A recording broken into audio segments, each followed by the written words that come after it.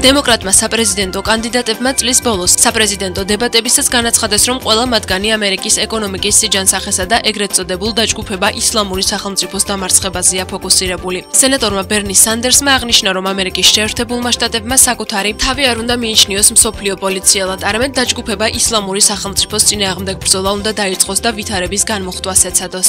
ყოფილმა სახელმწიფო მდივანმა ჰილარი კლინტონმა კი აღნიშნა, რომ იგი კოალიციის ძალისხმევას უჭერს მხარს. ჰილარი კლინტონის თქმით, ნამდვილად არსებობს ქურთი და სუნიტი მებრძოლების დახმარების ჩართულობის საჭიროება. კლინტონის აზრით, ადგილზე ამერიკული ჯარების გაგზავნა სტრატეგიული შეცდომა იქნება. მესამე კანდიდატმა მერილენდის შტატის ყოფილმა გუბერნატორმა მარტინ ომაილიმ ხაზი გაუსვა ახალი ალიანსების ფორმირების საჭიროებას თანამედროვე საფრთხეებთან გასამკლავებლად. მან აღნიშნა ის ძალისხმევა, რომელიც აფრიკის კავშირმა სომალიში გაატარა. ჰილარი კლინტონმა რესპუბლიკელ დონალდ ტრამპს დაჯგუფება ისლამური სახელმწიფოს საუკეთესო შენაძენი უწოდა. კლინტონის განცხადებით ტერორისტულ საფრთხეებზე ზიზღით სავსე საპასუხო განცხადებები ამერიკის შეერთებული შტატების ინტერესში არ შედის.